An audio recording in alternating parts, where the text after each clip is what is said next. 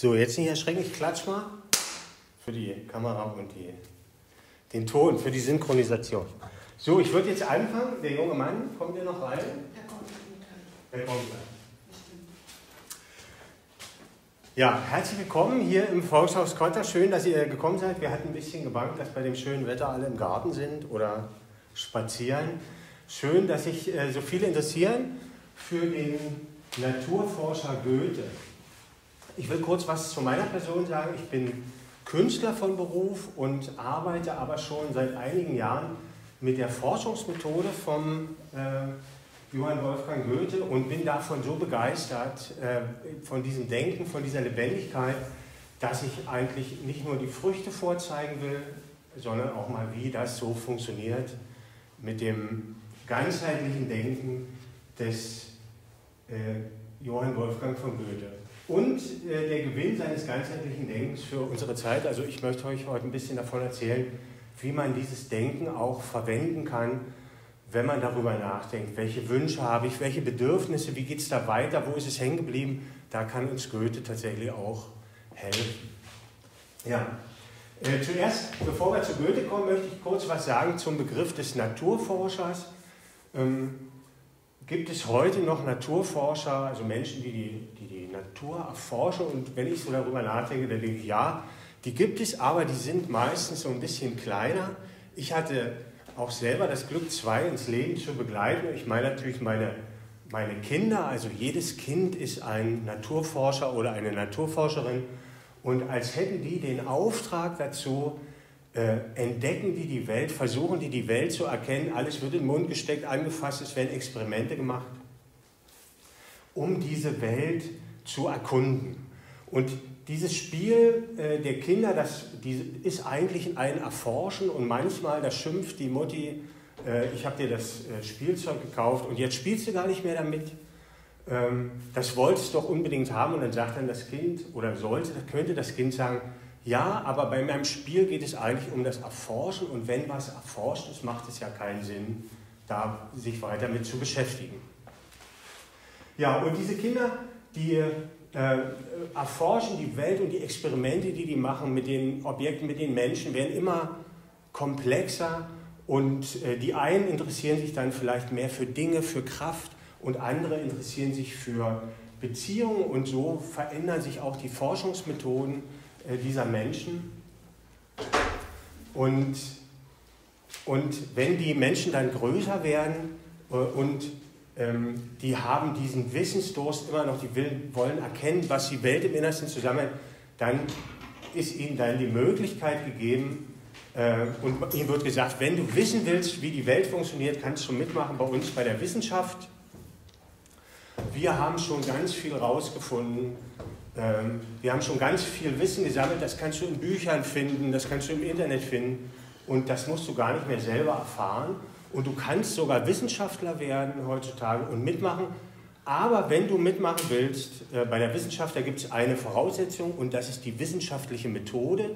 Und diese wissenschaftliche Methode, die stützt sich eher auf das Rationale, auf das äh, Nachvollziehbare, das Messbare und jene Seite des Menschen, die empfindet, die nicht so nachvollziehbar ist, wo es um Ahnung geht, um die Intuition, die sind in dieser Forschungsmethode im Prinzip, also die gehören da nicht hin.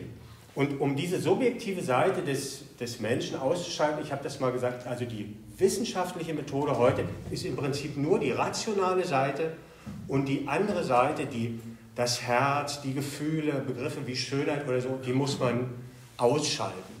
Und der Mann, von dem ich euch heute erzähle, der Johann Wolfgang Goethe, der hat so geforscht. Also der hat das nicht ausgeschalten. Ähm, der hat, wenn man es ganz einfach sagen will, hat er mit Kopf und Herz geforscht. Und es ist auch ganz wichtig, dass ihr das nicht falsch versteht. Also ich habe jetzt nicht so gemacht. Also es geht nicht darum, jetzt nur mit dem Herzen zu forschen, sondern das ist im Grunde eine Ergänzung dieser Forschungsmethode. Und wir wollen heute mal schauen, äh, wie das funktionieren kann, welche Ergebnisse äh, das haben kann.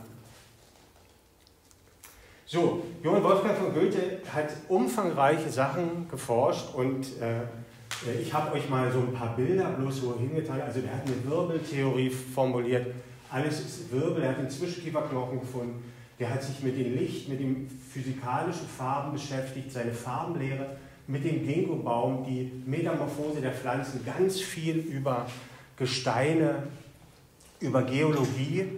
Ähm, er hat ähm, in der Meteorologie geforscht, um das Wetter vorherzusagen. Hier sehen wir das, das Goethe-Barometer und, und, und. Also es ist eigentlich unmöglich, an so einem Nachmittag das alles zu erzählen. Äh, aber das soll hier auch gar nicht das Ziel sein, äh, sondern ich möchte euch eigentlich diese Methode zeigen anhand der, äh, der Forschung von dem Goethe. Und was mir auch ganz wichtig ist vorneweg, also Sie werden erleben, dass ich sehr begeistert bin von, von Goethe und der Forschungsmethode, aber wir machen hier keine Heldenverehrung oder so.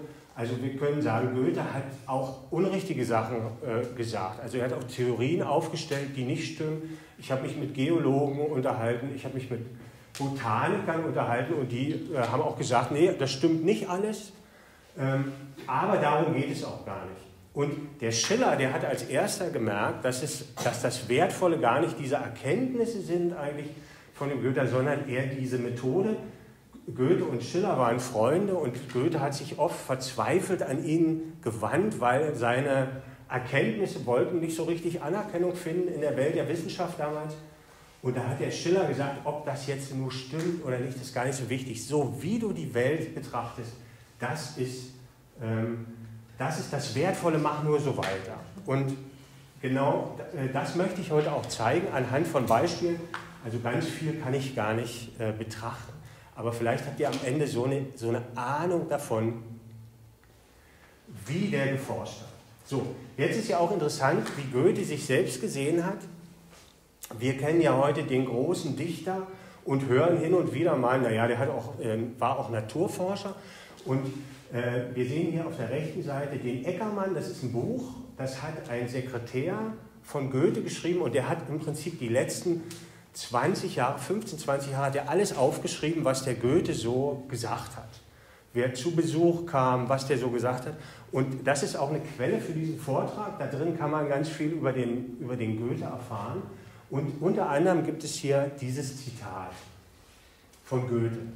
Auf alles, was ich als Poet geleistet habe, bilde ich mir gar nichts ein. Es haben treffliche Dichter mit mir gelebt, es lebten noch trefflichere vor mir und es werden ihrer nach mir sein. Dass ich aber in meinem Jahrhundert in der schwierigen Wissenschaft der Farbenlehre der Einzige bin, der das Rechte weiß, darauf tue ich mir etwas zugute. Das heißt, wenn wir Goethe vielleicht kennengelernt hätten, den 70-, 80-Jährigen irgendwo, und hätten gefragt, na, was hast du so getrieben, dein Leben? Dann hätte er vielleicht auch erzählt, Bücher geschrieben, den Faust und Leiden des jungen Werther war ja der erste große Bestseller, den es überhaupt gab, also nach der Bibel und dem Koran. Aber er wäre dann auch schnell dazu gekommen, uns zu erzählen, was er herausgefunden hat in der Naturwissenschaft. Und das ist ja eigentlich überraschend heutzutage. Dieses Bild hat man ja äh, gar nicht von Goethe, aber Goethe war das unheimlich wichtig. So, bevor wir anfangen mit dem Schauen, äh, möchte ich euch von einem Naturgesetz vorneweg schon erzählen, was Goethe äh, entdeckt hat in der Natur. Und zwar, er hat die Natur betrachtet und hat gesehen, dass ähm, jedes Bedürfnis, was ein Tier oder eine Pflanze hat, ist auch erfüllbar. Es gibt immer irgendwo eine Fähigkeit, die das erfüllt. Es gibt keine Wunsch, äh, keine, keine, keine Tiere, die etwas unbedingt wollen und das geht nicht. Also alles funktioniert in der Natur äh, wenn ein Tier fliegen will, hat es Flügel oder wenn es fliegen muss, hat es Flügel und wenn der Wurm zum Beispiel, der muss nicht fliegen, der will auch nicht fliegen, also das passt alles zusammen, die Fähigkeiten und die Bedürfnisse. Und Goethe hat, war der Meinung, dass der Mensch zur Natur gehört und er hat dann sich so gedacht, naja, wenn, wenn es für jedes Bedürfnis die Möglichkeit gibt, es zu stillen und wir uns als Menschen fragen, wie das hier alles funktioniert, dann muss die Antwort irgendwo zu finden sein. Und höchstwahrscheinlich ist die auch nicht äh, in total schwierigen Apparaten zu finden, weil die muss ja auch, äh, also wie so ein Teilchenbeschleuniger oder, oder ein Mikroskop, weil die muss ja eigentlich vor tausend Jahren für die Leute auch schon zu, äh, zu finden sein. Und das macht so ein bisschen zuversichtlich. Also jeder von euch hat eigentlich alles hier auf der Welt, um sich seine Fragen zu beantworten. So, jetzt wollen wir zum Schauen kommen. Ähm, wir fangen damit mit so einer Übung an, damit wir so ein bisschen äh, in das Schauen kommen. Und das ist eine Grafik, die habe ich gestaltet, ist nicht von Goethe. Und ihr seht hoffentlich dann einen Apfel und eine Birne. Und darunter ist dann die Aufforderung, finde sieben Gemeinsamkeiten. Und, ähm, und ihr könnt das ja mal probieren, ob ihr hier Gemeinsamkeiten findet. Und ich habe mir auch überlegt, was hätte denn Goethe dazu gesagt? Wie hätte er darauf geantwortet? Und hier ist so ein Zitat aus einem Buch, was ich geschrieben habe. Beides ist Obst und bildet sich aus einer Blüte. Und mit der Süße kommt die Güte, zum Reifen brauchen beide nicht.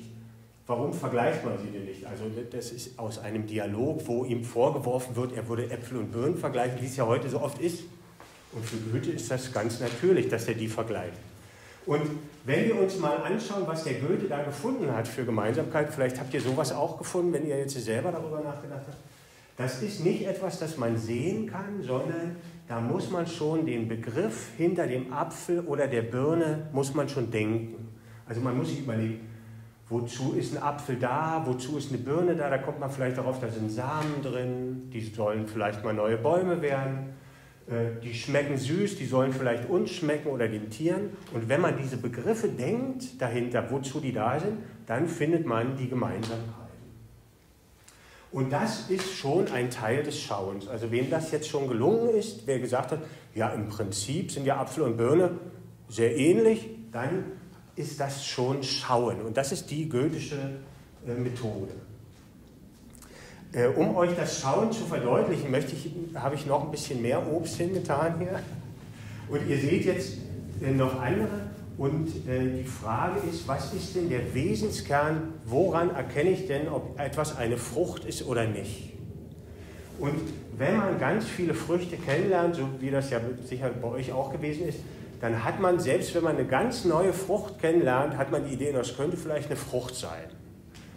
Und das war ja zu DDR-Zeiten auch so, da kam ja dann irgendwann, der Markt hat sich geöffnet, 1990, da lagen da plötzlich Kiwis und Litschis, das hatte man noch nie gesehen als DDR-Bürger. Und trotzdem kam man nach einer Weile, nach dem Kosten und nach dem Angucken darauf, naja, das werden wohl Früchte sein. Und wenn einem das gelingt, dann hat man schon eigentlich den Wesenskern der Frucht hat man schon verstanden. Und wenn wir jetzt aber versuchen würden zu sagen, was macht denn so eine Frucht aus? Und wir würden anfangen, das zu beschreiben. Wir würden jetzt zum Beispiel sagen, naja, die sind alle süß. Ne? Dann kommt einer mit einer Zitrone und dann stimmt es wieder nicht. Das heißt, es, es zu formulieren ist ganz schwierig, aber es zu erkennen für sich, dieses Wesen, das ist relativ einfach, das machen wir eigentlich jeden Tag. So, und dieses Denken hinter den Begriffen, also wozu ist das da, wo kommt das her, was soll das, das ist schon Schauen. Aber das ist nur die eine Seite des Schauens. So, jetzt habe ich euch hier so ein paar bekannte und unbekannte äh, Menschen mal hingetan und vielleicht seht ihr das, äh, die haben alle so sehr hervorstechende Merkmale äh, als Mensch und vielleicht ist es euch auch mal passiert, dass ihr jemanden kennengelernt habt und der hatte so ein Merkmal, der hatte irgendwie eine Zahnlücke oder hat geschrieben und da konnte man am Anfang überhaupt nicht vorbeigucken. Und wenn ihr dann aber diese Menschen kennengelernt habt, dann ist es euch bestimmt passiert oder vielleicht passiert, dass jemand anders kam und gesagt hat, Mensch, der schielt aber und man selber hat gedacht, ich sehe das gar nicht mehr. Und dann ist das äh, irgendwie verschwunden und, äh, und ihr seht dann etwas anderes. Ihr seht dann, wenn ihr eine Beziehung eingeht zu diesem Menschen, eher, wie es diesem Menschen geht. Und das ist auch schon Schauen, das Wesentliche äh, äh, erkennen. Und am allerdeutlichsten wird das, wenn man, wenn man eine Leiche sieht von einem Tier oder von einem Menschen, äh, das man, den man selber gekannt hat. Also ich weiß nicht, ob euch das schon mal vorgekommen ist, bei der Katze oder bei einem Menschen auch. Man schaut auf diesen toten Körper und man sieht, der ist weg. Der ist da nicht mehr drin. Man kann es, also ich, mir geht das so, man sieht sofort, das ist vollkommen was anderes. Und was man da nicht sieht, das kann man nicht irgendwie aufzählen oder so, aber das ist das Wesen, das wir schauen und das gehört zu dieser Methode. Und na, man könnte es nicht sagen, was, was ist denn da jetzt anders? Der ist einfach dann leblos, das Wesen ist raus. wir erkennen es, wir können es vielleicht nicht beschreiben, aber wir schauen auf das Wesen. So, jetzt habe ich euch hier mal ein Foto von einer äh, Tomatenpflanze hingetan und über die Tomatenpflanze kann man viel erzählen. Und wer aber, ähm, wer aber selber einen Garten hat, oder es ist jetzt auch nicht so schwer zu sehen, der sieht nicht nur eine Tomatenpflanze, sondern der sieht auch, der Tomatenpflanze geht es nicht gut. Das sieht man. Und wenn man so ein richtiger Gärtner ist und es gibt so Leute, die sehen so ein Bild oder so eine Pflanze und die machen dann so, oh. Und das ist ein, und da zeigt sich ein Mitfühlen, also das Gefühl, was die Pflanze gerade hat, das nimmt der Mensch auf und dieses Mitfühlen ist auch ein Teil des Schauens. Und dann gibt es Menschen, also kenne ich selbst, die sehen sowas und können gar nicht anders und müssen sofort gucken, wo ist Wasser und müssen das da reinkippen. Also die spüren einen richtigen Willensimpuls, da ist der Wille der, der Wesenheit oder der Pflanze ist übergesprungen auf den Menschen und der muss das gießen und es geht gar nicht anders. Und wenn, wenn das Wollen eines anderen zu unserem Wollen wird, weil man selber hat ja nicht Durst, sondern die Pflanze hat Durst, dann nennt das zum Beispiel Rudolf Steiner, nennt das, das Passiv, der passive Wille. Und dieser passive Wille, den können wir auch erleben, wenn zum Beispiel eine Mutter und ein Kind, die, die Mutter weiß intuitiv, was das Kind will und will es auch. Also es will es gleich dem Kind geben. Und dieses, dieses passive Wollen oder dieses, äh, äh, das können wir auch nennen, das Leben. Also wenn ich das will, was jemand anders will, dann liebe ich den. So einfach ist es eigentlich. Oder also wenn ich überlege, was will der jetzt und wenn ich das mache, kriege ich vielleicht auch was, das meine ich nicht, sondern wenn aus mir heraus ein Wille wächst, dass der Wunsch des anderen zu meinem Wunsch wird, das ist das Lieben. Und dieses Lieben, das ist auch eine Form, das Mitfühlen, das Mitleiden und das Lieben, das sind alles Formen des Schauens. Und, ähm, und beim, beim Schauen ist es aber so, dass es da äh, die eine Seite gibt, das Mitdenken, könnte man sagen, also die Begriffe zu denken hinter den Dingen, das ist das Schauen und diese emotionale, gefühlte Seite, das sind so wie zwei, zwei Sichtpunkte des Schauens und die meisten Menschen, bei denen ist es so, dass sie zu der einen oder anderen Seite neigen.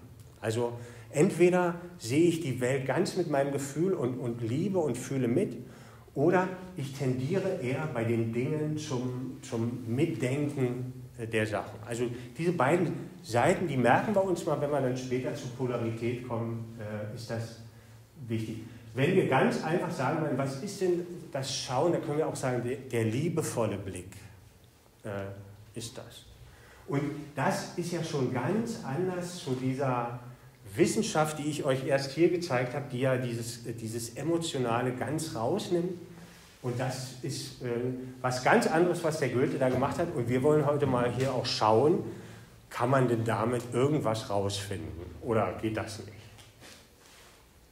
So, und jetzt wissen wir ja, wie das Schauen geht und jetzt fangen wir mal an mit dem, mit dem Schauen.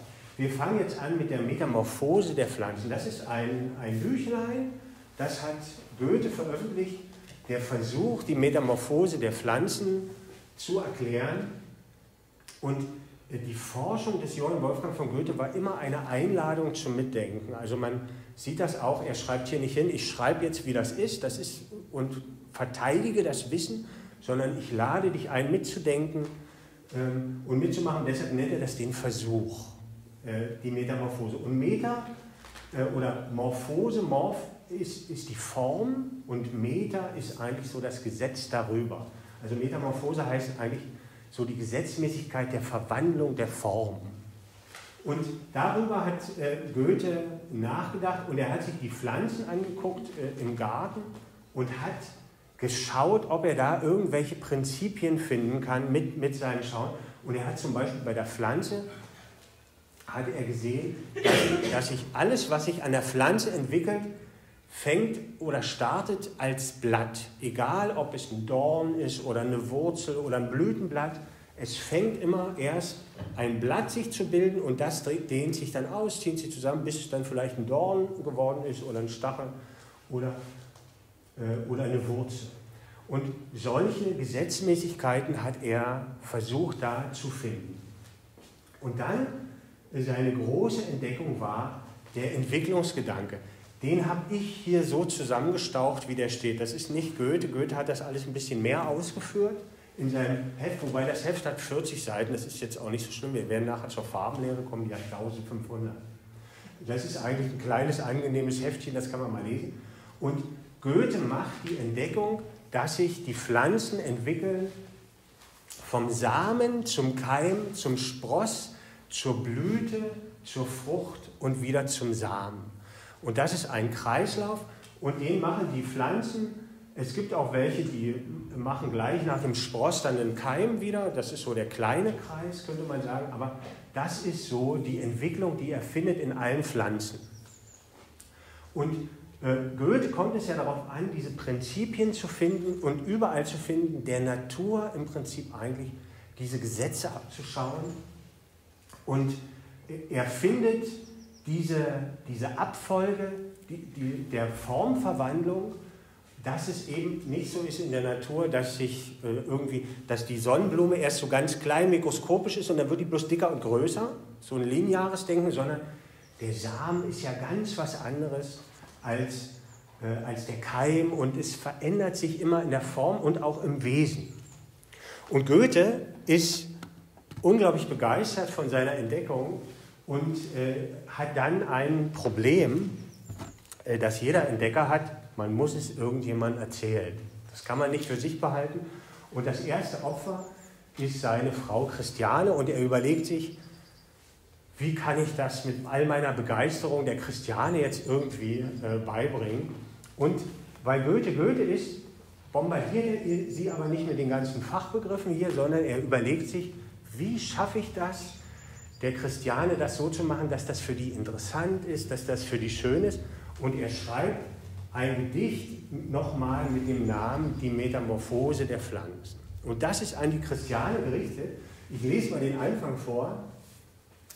Dich verwirret, die Geliebte, die tausendfältige Mischung dieses Blumengewühls über den Garten umher. Viele Namen hörest du an und immer verdränget mit barbarischem Klang eines den anderen im Ohr. Alle Gestalten sind ähnlich und keine gleiche der anderen und so deutet der Chor auf ein geheimes Gesetz. Auf ein heiliges Rätsel, o oh, könnte ich dir, liebliche Freundin, überliefern, sogleich glücklich das lösende Wort. Was eigentlich so viel heißt wie, oh, ich habe was rausgefunden, wie sage ich es dir bloß? Und dann ähm, versucht er es weiter und das Grüne hier ist im Prinzip der ganze Ablauf eigentlich dieser, äh, dieses Entwicklungsgedanken, wie die Pflanze das macht mit ihren Organellen. Da sind noch ein paar andere Fremdwörter drin. Und das lese ich euch jetzt aber nicht alles vor, sondern hier unten wird es dann richtig wichtig. Und nachdem er ihr das alles erzählt hat, sagt er, wende nun, o Geliebte, den Blick zum bunten Gewimmel, das verwirrt nicht mehr sich vor dem Geiste bewegt. Jede Pflanze verkündet dir nun die ewigen Gesetze, jede Blume, sie spricht lauter und lauter zu dir. Also er sagt zu Christiane, ich erzähle dir jetzt mal, was ich da rausgefunden habe und dieses Prinzip und dann musst du selber raus in die Natur und das wiederfinden, weil du musst es eigentlich selber erfahren. Ich kann dich nur zu diesem Denken inspirieren und dann musst du diese Abfolge dann äh, weiterfinden. Und weiter geht es. Aber entzifferst du hier der Göttin heilige Letter. Die Göttin ist die Natur. Überall siehst du sie dann auch im veränderten Zug Kriechen zaudert die Raupe, der Schmetterling eilet geschäftig, bildsam ändere der Mensch selbst die bestimmte Gestalt. Also Goethe sagt hier nicht weniger als, das, was ich hier gefunden habe, diesen Ablauf vom Samen zum Keim, zum Spross, zur Blüte, zur Frucht oder zum Samen, das findet sich nicht nur bei den Pflanzen, sondern sogar bei den Tieren und bei den Menschen. Alles Lebendige entwickelt sich so. Und jetzt geht es weiter O gedenke denn auch, wie aus dem Keim der Bekanntschaft nach und nach in uns holde Gewohnheit entspross. Freundschaft mit Macht aus dem Inneren enthüllte und wie Amor zuletzt Blüten und Früchte gezeugt. Also Goethe sagt hier, unsere Liebesbeziehung hat sich auch so entwickelt, wie das die Blumen tun. Er hat ein allgemeines Gesetz, wie sich alles Lebendige entwickelt, äh, gefunden für die ganze Natur und sogar für die zwischenmenschliche Beziehung. Und da jetzt sehen wir auch, warum der so begeistert ist darüber. Ja, und das ist tatsächlich ein, ein Prinzip, wenn ich euch das jetzt erzähle, könnt ihr noch gar nicht wahrscheinlich diese Begeisterung teilen, aber so kann man alles lebendig denken. All, all seine, alles, was man, alles, was man werden will, was werden soll, das entwickelt sich in diesen Stufen und wir können selber schauen auf unsere Karriere, auf unsere Wünsche und Bedürfnisse. Wo sind denn die gerade? Sind die noch beim Samen? Ist das eine unlebendige Idee? Oder bewegt sich schon was? Gibt es da schon Gedanken an das Wie? Wächst es schon? Gibt es schon Versuche? Kommt schon was dazu? Oder kommt es zur Freude und, und zur Schönheit? Das wäre die Blüte. Oder ist es schon nützlich? Und diesen Verlauf, das, das kann ich mit allem machen, mit der Erfindung der Dampfmaschine, wie sich aus den Wünschen der Menschen langsam was entwickelt.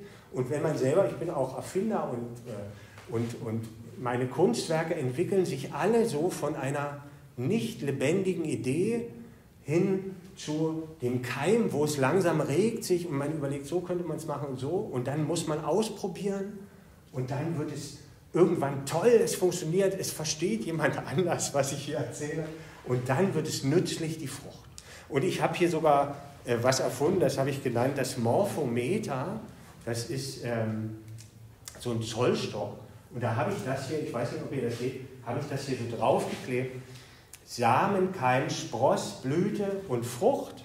Und hinten steht die Idee, Gedanken an das Wie, das Handeln, Wachsen, die höchste Freude oder Schönheit und der Nutzen. Und hier kann man auch sehen, dass das ein Kreis ist eigentlich. Und, und damit kann man jetzt schon, das kann man als Werkzeug benutzen und damit schon arbeiten äh, mit diesem Entwicklungsgedanken, den Goethe da gefunden hat. Überall ist der drin. Und äh, wie anders dieses Denken ist, können wir jetzt zum Beispiel, äh, wenn wir heute in unsere Gesellschaft schauen und uns fragen, zum Beispiel kriegt, kriegen, kriegt man raus durch die PISA-Studie, unser Bildungssystem funktioniert nicht. Und da ist die einzige Idee, die die Leute haben, mehr Geld, dann gibt es mehr Lehrer und dann wird es wohl werden. Aber man hat überhaupt nicht darüber nachgedacht, was soll denn der Nutzen sein, was sind denn die Früchte? Und dieses organische Denken hier ist ganz anders. Dann denkt man erstmal nach, was, kann denn der, was ist denn der Samen, die Idee, die das bringen kann? Wie kann denn das wachsen? Wie kann denn das blühen? Also das ist ein ganz fantastischer Gedanke. Aber in diesem Gedicht, da sind noch, ist noch mehr drin. Und das ist noch ein, ein schöneres Beispiel äh, für noch andere Methoden, die, äh, der, äh, die der Goethe hier benutzt. Und zwar ganz wichtig ist hier dieser Perspektivwechsel.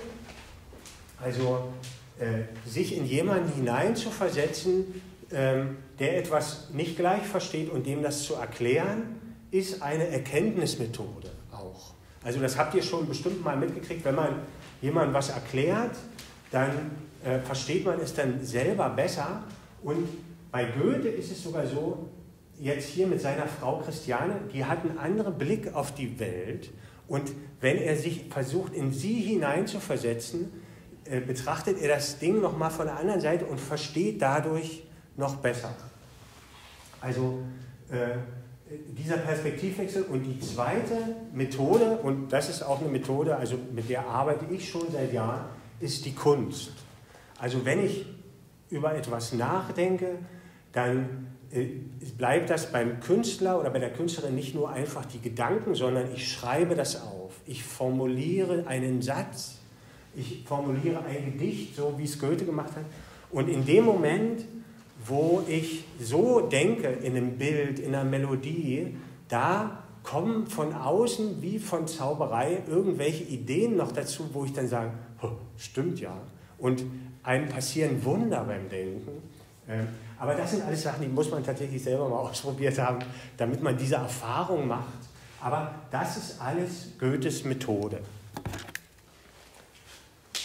So, jetzt äh, machen wir, gehen wir schnell zur Wirbeltheorie äh, und versuchen äh, da das nochmal zu finden. Also Goethe hat sich, wie gesagt, für alles interessiert und nicht nur für die Pflanzen. Er hat, äh, war natürlich begeistert, dass er schon was rausgefunden hat und hat das dann überall anders auch gesucht in der Natur. Und dann hat er sich die Skelette angeguckt von Fischen und von Säugetieren und von Reptilien und von Vögeln und hat da auch Gemeinsamkeiten entdeckt und hat, ähm, ähm, und hat ähm, ja auch diese Prinzipien gesucht. Und wir haben jetzt hier nochmal das Beispiel, was wir erst bei dem Obst hatten. Wir sehen hier Wirbel im Schnitt des Menschen und wir sehen, hier ist es schon schwieriger, da äh, das zu finden. Und das liegt aber daran, dass wir die noch nicht kennengelernt haben. Also die Pflaume und den Apfel, die haben wir kennengelernt. Da haben wir mal reingebissen und beim bei den, äh, bei den Wirbeln müssten wir eigentlich zugucken, wie die arbeiten, welche Aufgaben die haben und dann würden wir sehen, das ist alles äh, Einklang. Ich möchte mal äh, kurz vorlesen, ich habe noch ein anderes Werkzeug, also ich habe euch ja gesagt, ich habe darüber nachgedacht, wie würde Goethe das vielleicht jemandem erklären hier mit seiner Forschungsmethode? Und ich habe mir einfach vorgestellt, also wenn derjenige nicht ich wäre, vielleicht haben wir jemanden, der ein bisschen ähnlich ist. Und dann habe ich gedacht, wie würde er denn dem Heinrich Faust, also das ist sein, sein Schützling aus dem Faust, wie würde er denn ihm das erklären? Und das habe ich mir vorgestellt und daraus wurde dann ein ganzer Dialog und ein Buch und das habe ich dann geschrieben. Und in dem Buch trifft im Prinzip der, der Heinrich Faust aus dem, aus dem Faust auf den Goethe und Goethe wird sein Lehrer und erklärt ihm das alles. Und ich möchte euch mal also der bringt ihm im Prinzip das alles bei, was ich euch hier erzähle heute. Also ein bisschen mehr noch, weil der, der hat mehr Zeit. Und ich werde mal schauen jetzt, ob ich das finde. Ähm, und und äh, das ist hier noch ein bisschen poetischer angegriffen, aber das kommt immer so auf die Natur des Menschen an. Das, der eine versteht so besser und so. Und ich möchte euch mal vorlesen zu den Wirbeln also zu der Wirbelenergie. Und er stellt im Prinzip diese Frage, ob er das sieht. Und Faust hat schon so viel gelernt, dass er sagt, ja, ich kann schon hier Gemeinsamkeiten finden. Und er sagt Goethe. Und was ihr da erkennen könnt, nun, das ist die Idee, die wesentliche Form, die allen Wirbeln innewohnt, die eine Melodie vom Wirbel, die das Verschiedene gleich betont. Sie ist mit Worten schwer zu fassen und möchte sich nicht messen lassen. Drum will man die Idee verstehen, heißt es, mehr die Beziehung anzusehen, statt nur der Dinge anzusehen. Drum schaue er dafür dann ungenau. Auch hilft manchmal ein wenig Träumen. Das Wesentliche steckt nicht im Detail, viel eher in den Zwischenräumen. Diese Idee, sie ist die Antwort auf das Wie. Wer danach sucht, der findet sie abseits aller gemessenen Normen findet man sie zwischen den Formen, wie zwischen den Zeilen in der Poesie, zwischen den Tönen in der Musik. Und dieses Institut, mein Freund, ist eine Zwischenraumfabrik. Also die sind hier im Institut für gute Laune. Also jetzt habt ihr das noch mal ein bisschen gehört. Also man muss die Beziehung, wie das Ding eigentlich, was das will und wie das handelt, so kann man die Idee verstehen, das Wesentliche dahinter. Äh, Goethe hat äh, sich das angeguckt und hat äh, dann äh, bei Menschen den Zwischenkieferknochen gefunden. Und äh, als ich das das erste Mal gehört habe, also da hatte ich mich noch gar nicht damit beschäftigt, da habe ich überlegt, wie kann denn ein Dichter einen Knochen finden beim Menschen? Der muss ja da vorher schon die ganze Zeit gewesen sein. Wieso hat ihn nicht jemand anders schon mal? Vielleicht hat er den beim Liebesspiel irgendwie entdeckt, du hast dann Nubbel oder was. Wie kann man denn den Zwischenkieferknochen finden? Und dann habe ich mich damit beschäftigt und die Geschichte geht im Prinzip so, äh, also die, die, die Gesellschaft damals oder die Kirche ist auch davon ausgegangen, die Menschen sind was extra, was Besonderes und dann gibt es noch die Tiere. Und dann gab es schon Anthropologen, die haben gesagt, am Skelett sieht man aber die Verwandtschaft der Säugetiere und der Menschen. Und dann gab es aber immer ein Argument der Kirche oder der Wissenschaften, die haben gesagt, es gibt einen Knochen, den hat der Affe nicht, den hat das Pferd, nee, der hat der Affe, das Pferd und die übrigen Säugetiere und der Mensch hat den nicht. Und das ist der Zwischenkieferknochen. Der ist hier, müsst ihr euch vorstellen, beim Affen oder beim Pferd, da ist er so ganz lang und beim Hund. Und da sind vorne die Schneidezähne drin und das ist so ein extra Knochen, der kommt hier vorne noch raus. Und den hat der Mensch nicht. Und das war der Beweis lange Zeit dafür, dass der Mensch nicht verwandt ist mit den Säugetieren. Und Goethe hat aber in seinem Bild der Natur hat gesagt, es gehört alles zusammen, ist alles eins. Der Mensch gehört zur Natur. Hat gesagt, er muss irgendwo sein, der äh, Zwischenkieferknochen. Und hat dann mit einem anderen Anthropologen zusammen, haben die sich so die äh, Skelette von ungeborenen Kindern angeguckt und da hat man gesehen, dass dieser Zwischenkieferknochen da noch einzeln war und dann vor der Geburt schon zusammenwächst und hat diesen Zwischenkieferknochen gefunden und hat äh, demnach im Prinzip eigentlich diese Verwandtschaft bestätigt zwischen Säugetier und Mensch. 100 Jahre vor Charles Darwin. Man muss hier aber auch mal dazu sagen, das ist wichtig, Verwandtschaft heißt nicht immer Abstammung. Also Goethe hat nicht behauptet, wir stammen von den Säugetieren ab, sondern wir sind verwandt. Ich bin mit meinem Bruder verwandt, aber ich stamme nicht von ihm ab. Äh, das mit der Abstammung hat dann, hat dann Darwin äh, behauptet. Ähm, Goethe hat dann äh, ja, der hat ganz viel gesammelt. Der hatte in seiner Sammlung auch einen Elefantenschädel äh, zu Hause irgendwo im Regal und auch so einen Schafschädel. Und den Schafschädel hat er in der Hand gehabt und war ein bisschen nachlässig. Und dann ist ihm der runtergefallen. Und der ist dann in, in verschiedene Teile zersprungen. Und die Bruchkanten hat Goethe gesehen, die waren aber jetzt nicht so gerade, sondern das war irgendwie, das waren irgendwie so Sollbruchstellen, als wenn die da zusammengewachsen wären. Und wie er sich das so anguckt, diese einzelnen Teile, da stellt er fest, dass der, der Schädel beim Säugetier, das sind alles mal Wirbel gewesen, die haben sich so verformt. Also der Schädel ist eigentlich auch aus Wirbeln gebaut, äh, sagt dann Goethe. Und deshalb kommt er dazu hier, alles ist Wirbel. So, und jetzt wird es richtig äh, heiß, jetzt kommen wir zur, zur Farbenlehre. So, ich habe, einige haben schon durchgeguckt, ich habe schon hier so ein Prisma mitgebracht, da könnt ihr dann auch alle mal durchgucken oder durchschauen vielleicht sogar. Also die Farbenlehre. Ähm, äh, wie gesagt, Newton, äh, nee, äh, äh, Goethe hat sich für alles interessiert, hat auch alles gelesen, was er kriegen konnte und äh, Isaac Newton, weltberühmt, war schon 100 Jahre tot damals und der ist ja berühmt geworden durch seine Gravitationstheorie oder Beschreibung der Gravitation aber er hat auch geschrieben die Optik. Und da geht es darum, um die Lichtbrechung und die Farben. Und Isaac Newton hat dieses Experiment hier gemacht. Er hat ein kleines Loch in die Tür gemacht, da ist ein Lichtstrahl durchgefallen in so ein Glasprisma. Vielleicht könnt ihr das hier erkennen. Und dann kam hier der bunte Regenbogen zustande. Ich habe hier auch so ein, so ein Glasprisma mit. Ich habe das alles nachvollzogen. so, man weiß ja nicht, was man erzählt. Naja, und der Newton, der hat halt dieses Experiment gemacht und hat gesagt, äh, wenn ich da einen weißen Lichtstrahl reinschicke und dann kommen bunte Farben raus, dann ist das ein Zeichen dafür, dass die, die bunten Farben aus dem weißen Licht gemacht sind und, äh, und die Summe aller bunten Farben ist wiederum das weiße Licht. Also das ist da drin enthalten. Und Goethe hat sich das durchgelesen und hat sich ein bisschen gewundert, weil er hat gesagt, naja, wenn ich mir die Farben so angucke, da ist, also selbst das Gelb ist ja dunkler als das Weiß. Wie soll denn verschiedene dunkle Sachen, wenn man das zusammenschiebt, dann muss er dunkler werden, kann er nicht heller werden. Und da hat er sich schon ein bisschen gewundert. Und dann hat er gehört, dass einer irgendwie so ein Prisma hat und so eine optischen Geräte und hat gefragt, ob er die haben kann.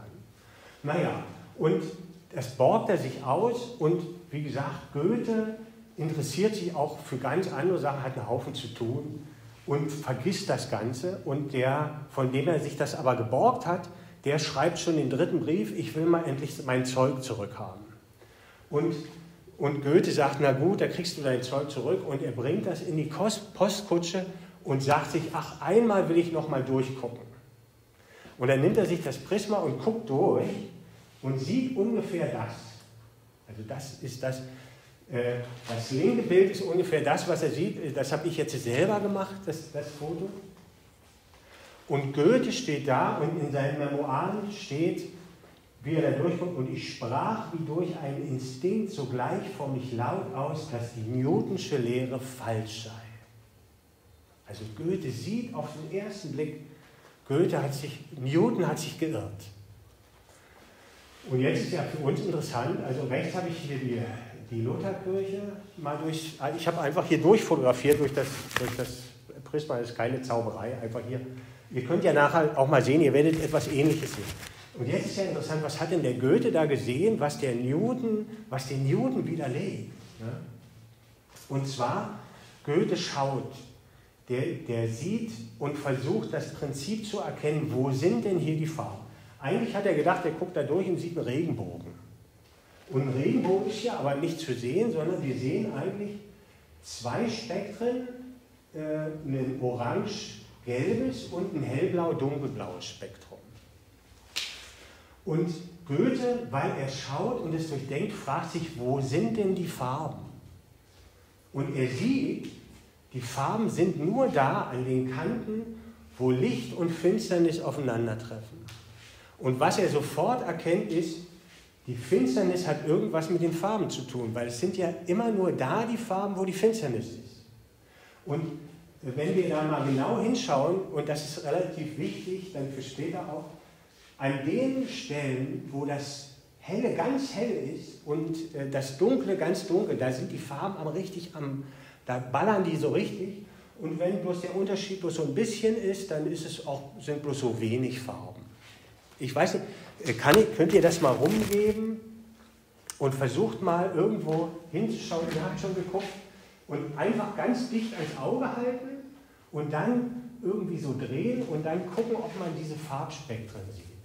Ja, und wenn man die gesehen hat, einfach mal fragen, ähm, sind die überall oder braucht es Dunkelheit und Licht? Genau, und dann einfach mal weitergeben, macht es mir nicht kaputt, das ist das Einzige. und sehen Sie die Farben? Ich sehe die jetzt, und zwar bei der Spiegelung von diesen Dingern hier. Ja, am besten, also wahrscheinlich, wenn man hierhin sich dreht, zu, zu dem Vorhang, da, da sieht man es am deutlichsten. Sie hat schon durchgeguckt. Äh, genau. Und Goethe ist natürlich total begeistert davon und sagt sich, äh, äh, das muss ich untersuchen, das kann ich nicht so lassen. Der kriegt sein Zeug nicht wieder. Ich schreibe dem, äh, der, der, muss noch ein bisschen warten. So. Und, ähm, und hier kommen wir jetzt zum Farbenstreit. Ich habe auch diese Experimente äh, ähm, nachvollzogen, die Goethe gemacht hat.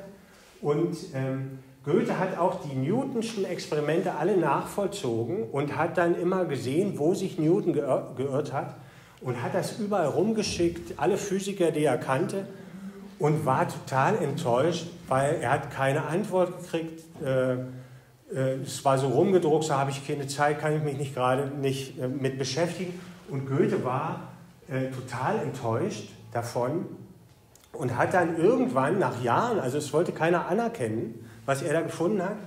Und es hat aber auch keiner dagegen argumentiert, es ist so im Sande verlaufen. Hat er dann gesagt, jetzt mache ich es mal richtig und hat die Farbenlehre angefangen zu schreiben. Und ähm, ich habe euch hier mal, das ist im Prinzip hier oben, das ist das berühmte Plattencover Pink Floyd, The Dark Side of the Moon. Und das ist im Prinzip Newtons Experiment. Und ihr müsst mal, ich zeige euch gleich einen Film, wie ich das Experiment wiederholt habe.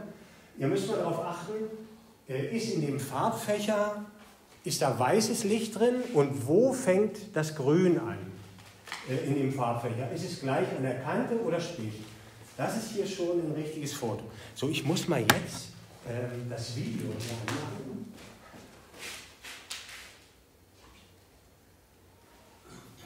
Und da habe ich im Grunde das Experiment nachvollzogen gemacht. Das ist mit Ton. Farbenstreit zwischen Newton und Goethe kurz erklärt. Der Farbenstreit zwischen Newton und Goethe kurz erklärt. Newton ähm, schreibt seine Optik über das Licht und hat ungefähr äh, dieses Bild bei seinen Experimenten und äh, behauptet zu sehen oder interpretiert es so, dass das weiße Licht der Sonne in das Prismafeld dort äh, bricht sich das weiße Licht und fächert sich auf in diese ähm, Regenbogenfarben. Goethe macht das gleiche Experiment 100 Jahre später und sieht auch dieses Bild und äh, erkennt, dass Newton falsch geguckt hat und dass, zum, äh, dass die Farben sich nur an den Kanten zwischen Helligkeit und Dunkel bilden, wie hier zu sehen ist. Und zwar gibt es zwei Spektren, gelb-orange und blau-hellblau. Und nur sagt Goethe in dem Spezialfall, dass dieser Schlitz sehr dünn ist, äh, durch den das Licht fällt, dann berühren sich die beiden Spektren und es mischt sich das Grün aus dem Gelb und dem Blau. Newton hat gesehen, wie hier das Grün schon rauskommt und es sich auffächert und Goethe hat gesehen, das stimmt nicht, er hat falsch geguckt. Ähm, und die Schlussfolgerung von, von Goethe ist es, dass ähm, die Voraussetzungen für die Farben sind Helligkeit und Dunkelheit. Bei Newton ist es nur das Licht. Wenn du mehr über die Farbenlehre von Goethe erfahren möchtest, andere Experimente sehen willst, gibt es die hier. Nachvollzogen.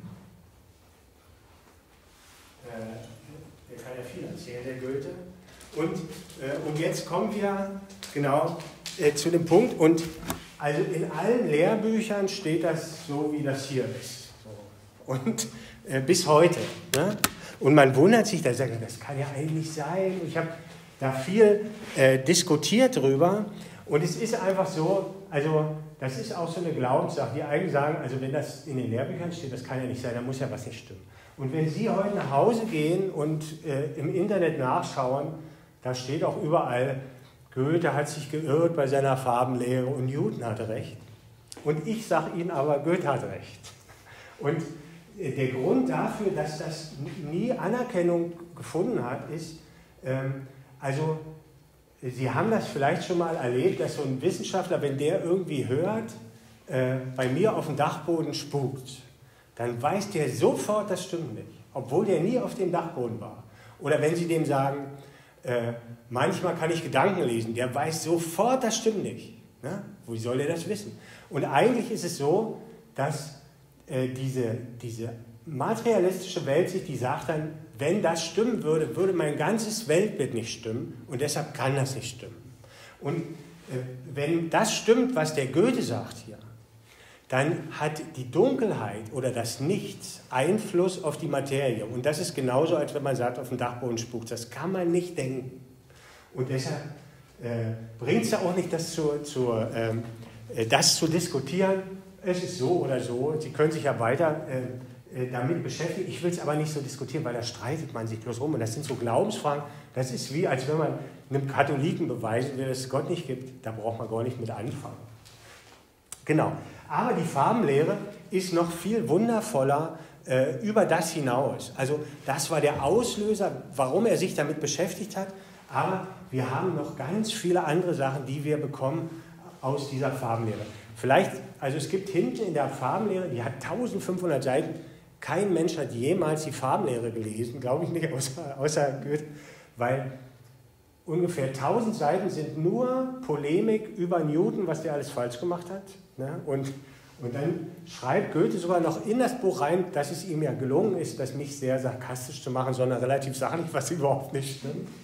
Und, äh, und dann kommen aber noch andere Sachen. Also er macht das ordentlich äh, und hat auch die Farbtafeln, wo er das alles zeigt. Es geht jetzt nicht nur um die Physik, sondern er hat auch diesen Farbkreis äh, hier entwickelt.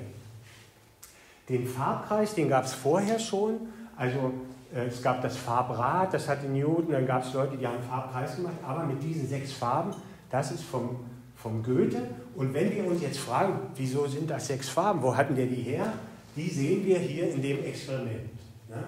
Also ähm, blau-hellblau ist auf der einen Seite, seht ihr das? Und auf der anderen Seite ist gelb-orange.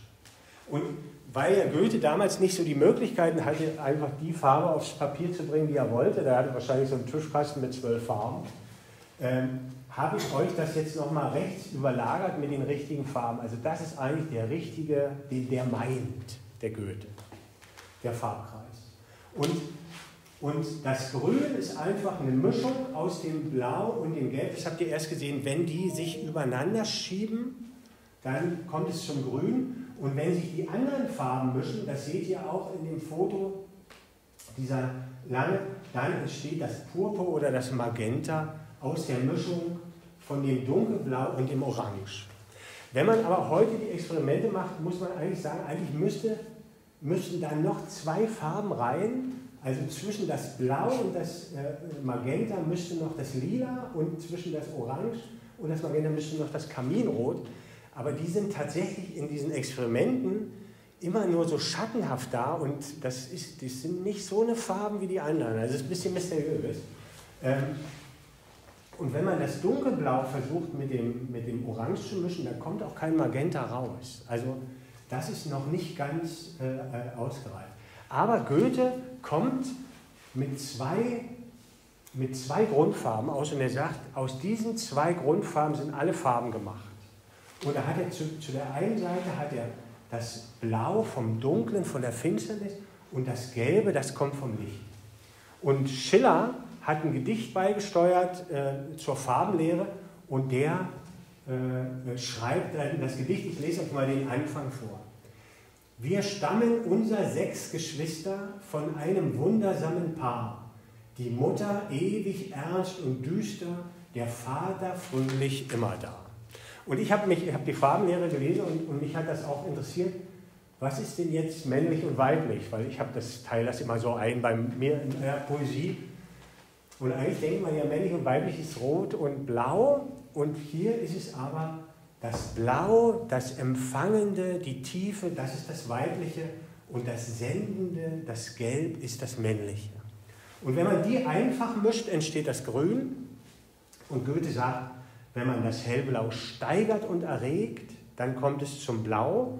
Und wenn man das Gelb steigert und erregt, dann zum Orange. Und die besondere Mischung dieser erregten Farben ist dann äh, das äh, Magenta da unten. So, jetzt wollen wir mal gucken, wie die Früchte schmecken. Ähm, äh, jetzt haben wir, wir stellen uns einfach mal vor, so ein kleines Kind fragt sich, warum ist der Himmel blau? Und der fragt erst mal Newton oder Harald Lesch oder irgendein so Wissenschaftler. Und der Wissenschaftler sagt dann, der fragt, warum ist der Himmel blau? Und er sagt er, weil das Licht der Sonne mit einer Frequenz von äh, gebrochen wird, mit so einem bestimmten Winkel und das hat dann eine Frequenz von 600 Terahertz und eine Wellenlänge von 500 Nanometern. Deshalb ist der Himmel blau. Und dann fragt das Kind weiter, und warum ist die Sonne gelb? Und dann sagt der Wissenschaftler, weil die elektromagnetische Welle von der Sonne, das Licht, gebrochen wird und äh, mit einer Frequenz von 526 Terahertz und einer Wellenlänge von 570 Nanometern. Und das ist die Antwort. Deshalb ist die Sonne gelb. So. Und das Kind wundert sich jetzt vielleicht, warum ist denn das Licht der Sonne da gelb und da blau? Aber es fragt lieber nicht weiter. So, jetzt fragen wir mal Goethe, warum ist der Himmel blau? Und Goethe sagt, wenn die Finsternis, das Schwarze, durch die Trübe scheint, und die Trübe, das ist entweder so ein Glas oder das ist die beleuchtete Erdatmosphäre oder das ist so Nebel. Also wenn das Schwarze da durchscheint, dann erscheint es blau. Und wir sehen ja in der Nacht die Schwärze des Universums und die ist ja am Tag auch da, bloß Sie scheint durch die beleuchtete Atmosphäre blau. Und jetzt fragt das Kind, warum ist die Sonne gelb? Und er sagt er, weil das weiße Licht der Sonne durch die Trübe scheint und dann erscheint es gelb. Ja, das sind diese beiden äh, Urfarben. Äh, die, ja, genau, die beiden Grundfarben. Und wenn wir uns jetzt fragen, äh, welche Antwort ist besser und wir wollen uns einen Fernseher bauen oder ein Fotoapparat mit so Transistoren und so, dann ist das die bessere Antwort. Aber wenn wir erkennen wollen, das wiederfinden wollen äh, äh, der, der Welt, dann scheint mir zumindest die Antwort besser, weil die kann ich überall in der Natur wiederfinden. Friedrich Nietzsche hat sich auch mal dazu geäußert, was ist überhaupt Erkenntnis. Und er hat gesagt, ich kann nur etwas erkennen, wenn ich etwas Unbekanntes auf etwas Bekanntes zurückführe. Also wenn ich irgendwas Neues erzähle, äh, kann ich das nicht erkennen. Ich muss irgendeine Erfahrung gemacht haben. Also wenn Sie sich fragen, warum regt sich mein Nachbar so auf äh, und Sie kriegen mit, dem haben das Fahrrad geklaut, dann müssen Sie im Prinzip darüber nachdenken, wie ging es mir, als Sie mir das Fahrrad geklaut haben und dann können Sie erkennen, deshalb regt er sich so auf. Aber man braucht immer eine Erfahrung dazu, die man wiederfinden kann im Verhältnis der anderen. So, und äh, hier in meinem Buch ist es noch eindeutiger eigentlich. Da sagt er, da geht es auch darum, um Erkenntnis. Also der Faust hat ja ganz viel Wissen und Bücher voller Wissen. Und da sagt der Goethe, naja, aber ist es denn eine Antwort auch auf deine Frage? Und da sagt er, ob es auch die Antwort ist, es gibt ein Mittel, wie man es misst, ist mit der Antwort auch die Frage ganz verschwunden. Dann ist die Antwort erst gefunden. Also wenn Sie verheiratet sind seit 20 Jahren und sich jeden Tag fragen, wer ist wohl der Richtige für mich, dann ist es wahrscheinlich nicht die Antwort. Wobei beim Menschen ist es auch immer ein bisschen das, wie man zusammenlebt. Genau. Oder wenn Sie Ihren Schlüssel suchen und sagen, der steckt bestimmt in der Tür, dann ist das nur eine Theorie. Sie werden erst eine innere Ruhe haben, wenn Sie den wirklich gefunden haben. Mit der Antwort verschwindet die Frage. Ja, und der Junge hat das jetzt sich angehört von dem einen und den anderen, aber eines Tages, da guckt er auf das Meer, das Meer ist blau und dann fragt er sich, warum ist das Meer blau? Weil das Schwarz der Tiefsee durch die Trübe scheint. Oder er fragt sich, warum sind die blauen, die Berge, die Alpen, die eigentlich schwarz sind, im Nebel, warum erscheinen die blau? Weil das Schwarz durch die Trübe scheint. Also diese Antwort können wir immer wieder finden. Ne? Wenn wir uns fragen, machen uns diese Früchte satt. Sie haben auf jeden Fall also äh, gute Karten. So, ähm, jetzt kommen wir noch zu, zu dem dritten wichtigen Ding und das hat mich am allermeisten begeistert. Äh, Polarität, Steigerung und Verwandlung. Ähm, äh, ihr müsst euch vorstellen, hier in dem Buch ist es so, also der, der Faust wird zum Lehrer vom Goethe und er will ja wissen, was die Welt im Innersten zusammenhält. Und er merkt schon so langsam, der Goethe erzählt, und Margarete ist auch ganz wichtig für diesen Prozess, ähm, also diese Liebesgeschichte. Und er merkt so langsam, Mensch, der Goethe weiß doch, und sag's mir doch endlich, sagt, sagt er dann, du weißt doch, was das alles hier, wie das funktioniert. Und dann sagt der Goethe, in allem finde ich zwei Seiten und immer scheinen die zu streiten. Erfasse ich es aber ganz, erkenne ich, es ist ein Tanz, bis ich zum Grund des Ganzen sehe, mein Freund, der Tanz ist die Idee. Also Goethe, alles, was auf der Welt funktioniert, hat irgendwie ein Gegenstück. Äh, alles funktioniert als Polarität. Ich habe euch ein paar davon mal hingeschickt. Licht und Finsternis, Leben und Tod, Klang und Stille, Gut und Böse. Also es gibt immer zwei Seiten und immer scheinen die zu streiten. Und bei den Farben sehen wir das jetzt aber ganz wunderbar. Es gibt Schwarz und Weiß und eigentlich streiten die miteinander immer. Ne? Goethe sagt, äh, das Licht kann leicht die Dunkelheit vertreiben und wo ein Schatten fällt, äh, wird auch vom Licht bald nichts mehr bleiben. Wenn diese beiden aber tanzen, dann wird es richtig bunt. Und dieses Tanzen in dem Ganzen, das ist Sinn und Grund. Also er sagt, es gibt immer diese Polaritäten in der Welt, diese Verfeinden, und die müssen zusammen in diesem Tanz der Gegensätze finden. Darum geht es hier auf der Welt. Und hier bei den Farben können wir das sehen. Also wir können sagen, schwarz und weiß, und dann können wir sagen, naja, manchmal schwarz und manchmal weiß, manchmal ja und manchmal nein. Und dann können wir vielleicht die Graustufen so sehen. Aber eigentlich streben tut es oben hier in in diesen Tanz der Gegensätze. Und Goethe sagt, wo eine Polarität ist, da ist dieser, dieser Tanz. Und wenn wir uns die Farben mal angucken, dann sagen wir, wo ist denn oben in den Farben, wo ist denn Licht und Dunkel? Und wir sagen, naja, irgendwie sind da schon Licht und Dunkel noch drin, aber es ist ja eine ganz neue Qualität. Und, und das äh, kann man auch äh, äh, ähm, entdecken. Also wenn wir uns zum Beispiel die Frage stellen, warum äh, wenn es denn in unserer Liebesbeziehung um Verständnis geht, warum verlieben wir uns denn nicht gleich in unseren besten Freund oder die beste Freundin, in Menschen, den wir schon vorher verstehen? Warum muss das immer jemand sein, der so anders ist als wir, der die Welt anders begreift? Und die Antwort darauf ist, nur mit dem Gegenstück kann man in diesen Tanz der Gegensätze finden. Und das, was hier oben als Farben steht, wenn man das in die Liebesbeziehung übersetzt, dann ist das vielleicht in der Sexualität dann der Höhepunkt oder die Sexualität selbst, die ja was ganz Neues und anderes für die Beziehung sind. Und das habe ich erst euch gar nicht gesagt.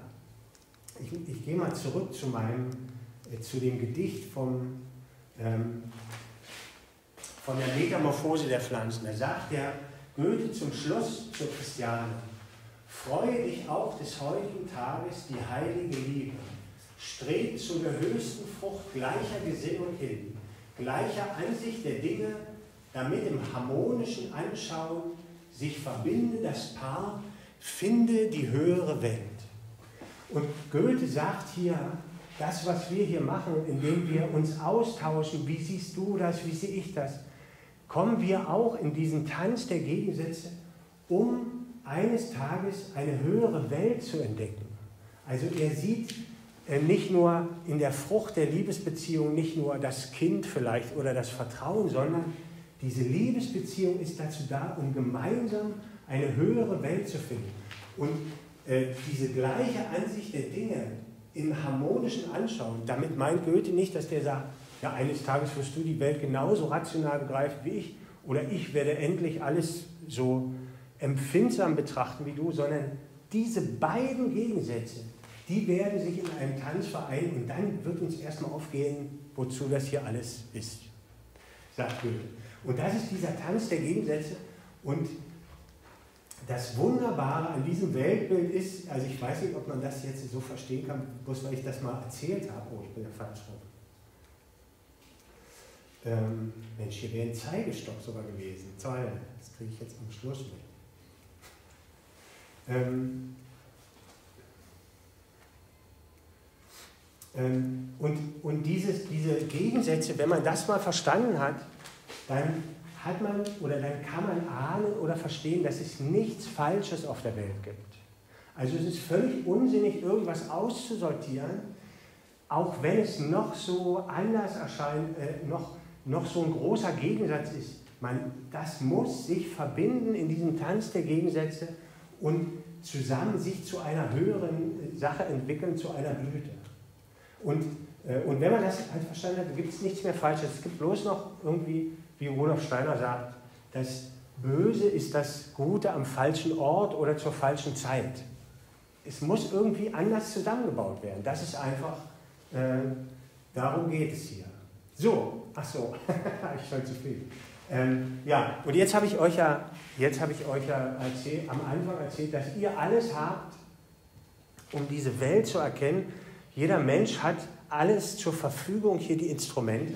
Und eigentlich ist es, stimmt es aber nicht, weil ihr alleine könnt es meistens auch nicht. Und das liegt halt auch daran, dass dieses Schauen oft einseitig ist. Also der eine denkt eher die Begriffe, der andere fühlt die Welt.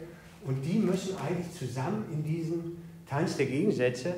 Und was der Goethe versucht, dem Faust zu verklickern, ist im Prinzip das hier. Das Instrument zum Erkennen der Welt ist der andere Mensch. Und das ist natürlich jetzt ein Schaubild für den Faust, der schon gescheitert ist an der Wissenschaft. Das stimmt jetzt nicht für jeden Menschen, aber der Satz stimmt für jeden Menschen. Das Instrument zum Erkennen der Welt ist der andere Mensch. Und das sind nicht nur unsere Liebespartner, das sind auch unsere Kinder vor allem, das sind, das sind unsere Kollegen, unsere Feinde, unsere Konkurrenten. Und im Tanz mit denen, in den Beziehungen, können wir die Welt erkennen. Und da müssen wir uns äh, hineinbewegen. So, ich habe als Künstler mal versucht, äh, die goethische Lehre irgendwie als Bild darzustellen. Und da ist mir dieser Farbkreis gekommen und den habe ich dann versucht, äh, in die Liebesbeziehung zu bringen, weil also in dem Buch ist es so, die Margarete, die Liebesbeziehung ist eigentlich die, die den Faust erst öffnet zu dieser Lehre, das zu verstehen. Und das habe ich hier so zusammengebracht. Also ich habe eine neue Form gefunden für, für den Farbkreis. Und das ist rausgekommen und das ist doch ein Hammerbild, oder? Also das ist jetzt das, äh, das ist das, das ist das, äh, wie es richtig als Siebdruck ist. Und so wäre es richtig mit den goethischen Farben. Mir gefällt es aber irgendwie links besser. Deshalb habe ich das so gemacht. So, das war's. Vielen Dank.